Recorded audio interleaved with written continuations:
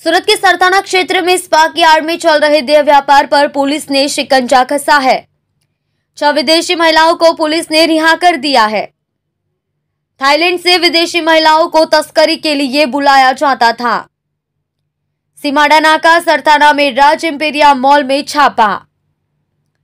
पहली मंजिल पर ब्लैक पाल थाई स्पा में मारा गया छापा। पुलिस ने तीन ग्राहकों को गिरफ़्तार किया है।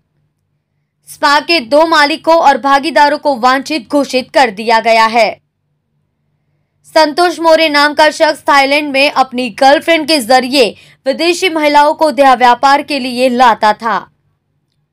देह व्यापार का पूरा धंधा कृणाल बोरिया नाम का शख्स संभाल रहा था। एंटी ह्यूमन ट्रैफिकिंग सेल के छापेमारी की कार्यवाही की गई। मौके से एक लाख रुपए का माल मत्ता बरामद किया गया।